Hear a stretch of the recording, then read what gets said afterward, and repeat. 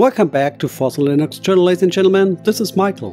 When you think of Fedora, Fedora Workstation usually comes to mind, which has been associated with the GNOME desktop environment for years.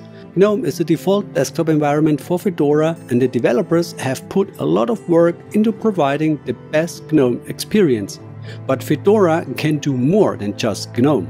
There is also an official Fedora KDE Plasma spin. The question is, can Fedora, traditionally a GNOME stronghold, fulfill the needs of die-hard KDE users? Let's take a closer look.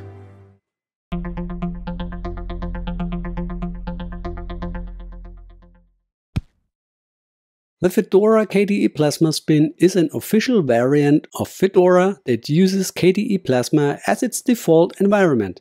KDE Plasma is known for its extensive features, customization options, and modern design. In contrast to GNOME, which focuses on simplicity and minimalism, KDE Plasma offers a wide range of options for customizing the desktop. Fedora's KDE Spin aims to bring this powerful desktop environment to Fedora baked by the same stable and up-to-date foundation that characterizes all Fedora releases.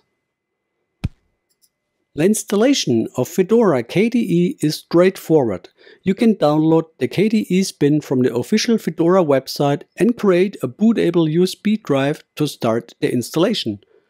Or you install in a virtual machine. The installation process is the same as Fedora Workstation and uses the user-friendly Anaconda installer. During the installation, you can customize the partitions, select your time zone and set up your user account, just like with other Fedora variants. And if you don't know how to do that, check out my Fedora installation video, especially if you like to use Btrfs file system, there is some trick to use the full potential of the Btrfs subvolume layout. Just click the link in the video description below. After installation, you'll be greeted with the familiar KDE Plasma desktop, which is sleek and visually appealing. The default design and layouts are consistent with the typical KDE experience and provide an excellent starting point for further customizations. Fedora is known for its commitment to providing the latest software and features and the KDE Spin is no exception. Fedora KDE includes the latest stable version of KDE Plasma as well as the latest version of KDE applications and libraries. This means that users can enjoy the latest features, enhancements and security updates without the long wait. In terms of performance, Fedora KDE runs smoothly. The Fedora base is optimized for performance and the efficiency of KDE Plasma complements this perfectly. On both modern and older hardware, Fedora KDE offers a responsive and stable user environment. The combination of Fedora's advanced software and KDE Plasma's performance optimizations ensure a smooth user experience. One of the main reasons why users choose KDE Plasma is its unrivaled customizability. Fedora KDE does not disappoint in this regard. From the outset, you can customize almost every aspect of the desktop environment from the appearance of windows and panels to the behavior of desktop effects and animations. The KDE System Settings tool is comprehensive and offers a variety of options to customize the desktop to your liking. In addition, the KDE Plasma widget system allows you to add various functions to your desktop such as weather updates, system monitors and application launchers. This flexibility is a great advantage for users who want to customize their workspace. Fedora uses the DNF package manager, which is known for its speed and efficiency. The KDE Spin benefits from the same robust package management system that provides access to a huge software library. In addition to the standard Fedora repositories, you can enable third-party repositories such as RPM Fusion to get an even wider selection of software, including proprietary applications and codecs. KDE users will find all their favorite KDE applications in the Fedora repositories. These applications are well integrated into the desktop environment and provide a consistent and well-designed experience. Whether you need productivity tools, multimedia applications, or development software, Fedora KDE has everything you need. One of Fedora's strengths is its strong community and excellent support infrastructure.